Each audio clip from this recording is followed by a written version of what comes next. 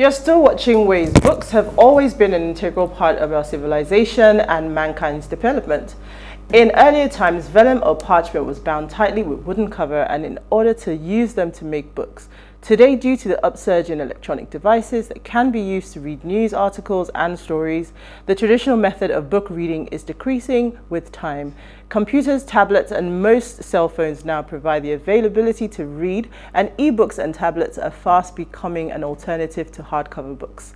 Sope Martins is the best-selling author of the children's book The Greatest Animal in the Jungle. When she's not creating magical worlds um, with her stories, you can find her out and about in the city of Lagos where she has built a fantastic career in broadcasting. One day, if Shakwe has her wish granted, you just might find her in a book. Remember, you can join the conversation. Tweet to us at Plus TV Africa or Wayshow Africa 1 with the hashtag Ways or SMS 0818 Thank you so much for joining us, Sope. It's lovely to see you. Good evening, ladies. Great to be on the show. I know. so, books. Every time I think books, I think if I think back to when we met, I remember um, Smooth FM and, and the book review. So you've mm. always been in my mind as the literary literature girl, and then you wrote a book. So I would like to know when we're talking about the reading culture, where did yours start? Oh my goodness. Mine started as I'm guessing a lot of people's stories start with my parents, specifically with my mother, mm -hmm. because my mother herself as a child was an avid reader and it was something that she sought to foster in her children. Mm -hmm. So she was the person who had all the patience to take me to the libraries um, and buy me books and sit down every time I ran up to her with a question. Oh, mommy, what's this word? She would. Mm. Exactly. Well, first, before she got tired and told me to look it up, she would try and explain the word to me. Then yeah. she just gifted me a dictionary one day and said, "Well, here you go." Priceless. a dictionary. Teach a man to fish. Uh, exactly. uh, and and I guess that's what uh, for me when I think about reading, I think how it helps with vocabulary and and just you being yeah. able to have a wide, broad array of words. Of but I have some audiobook lovers in the house, so take it away, Nasa. I'm sorry. You, you mentioned um, your mom taking you to the library. Hmm. Nigeria or abroad? No. I want to say that because it's part of the issues that we have. You just have to put Nigeria. No, because this is part of the but issues that we have that reading culture true. in Nigeria is of totally course. diminished. Mm -hmm. It's part of it's the fact so that we don't have public libraries. Yeah. So I was wondering that where did she? But you know what? Growing up, I remember coming to Nigeria and I remember going to libraries in yeah, Nigeria. so you said that's changed. We did have that. But, no. but now, now it's hard to find a library. A few private libraries. A public libraries. Really it's so public hard. Library. Like I'm trying to study yeah, and I'm trying to public to libraries. No private. No public I'm talking of public libraries. No, we don't. Public private. Where is the private? Even the private one. Where's the even private one? Even no, a proper bookshop. Whereabouts? Because I libraries the only one I know. In Yaba. Oh, yeah, really? I know there's a library oh, okay. in Lekki because I remember there they is? contacted me. Yes, yes. with the reading there was, was, a reading space in Lekki. I don't know if there's still. No, the reading one I know is the Terra Kulture one. And no, no, no. There's one in oh, Lekki. Oh, oh really? That's yeah, okay. and that serves how many people? One library to how many people? We're just saying they do exist.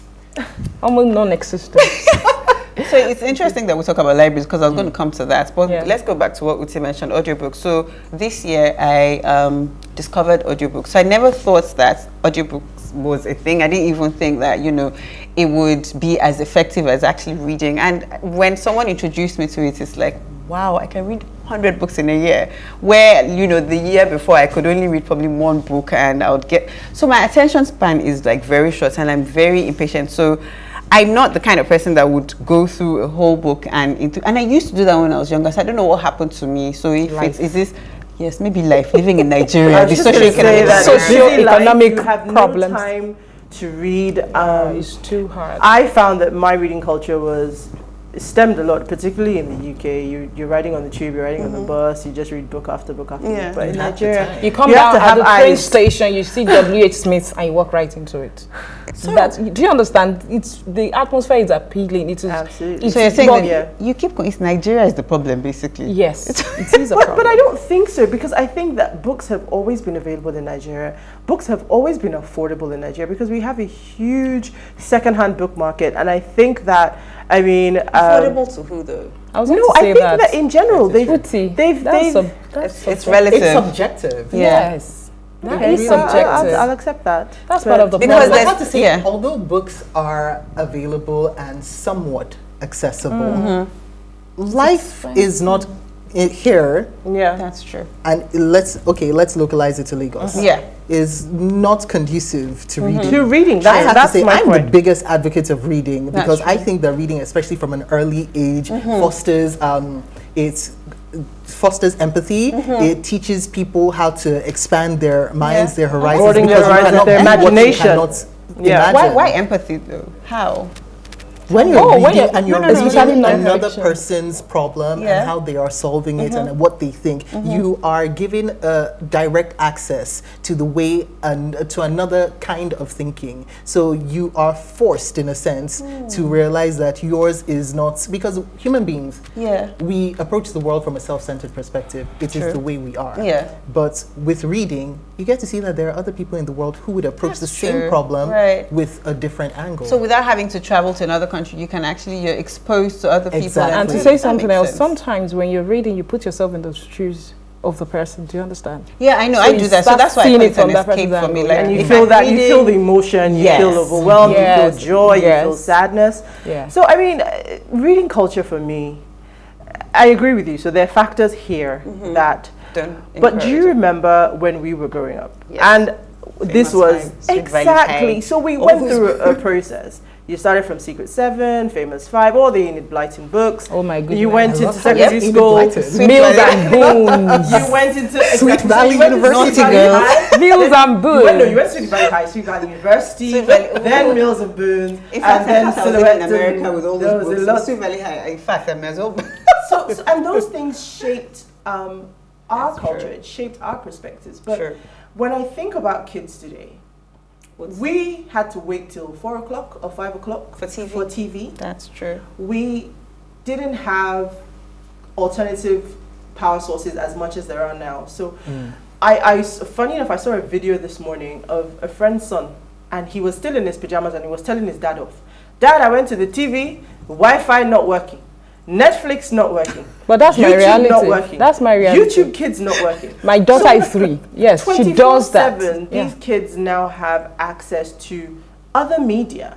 So how do we? Because you know, when we're talking about reviving this culture, the reality is we acknowledge that reading books is almost becoming It's a dirt. extinct. Mm-hmm. I personally like The the digital feel and the smell of paper. It takes me back to the story, and, and so I'm still a paper uh, a, a paperback, Paperback, person. yeah. But I, I understand the value of, of audiobooks. I still tune out, so I'm trying to get there. But you've written a children's book. Mm. So clearly you see that there is a way in which we can keep children engaged. So what motivated you to write that? Is, is that culture part of it?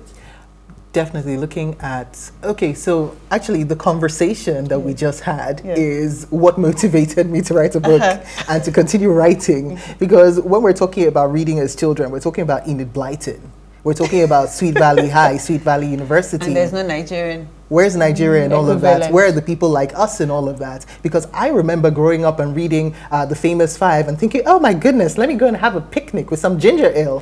I know. And then when We know, so me. let me bring the Nigerian context. Where is to. Shandy and We read know, Simbi. And And Ali. Ali. Ah, yes. No, no, the drummer boy. Edet went Aki, to Aki the school. drummer boy. That was a very sad story for me. In fact, I used to cry. So, in truth, talking about books and empathy, I mm. remember that was such a sad story.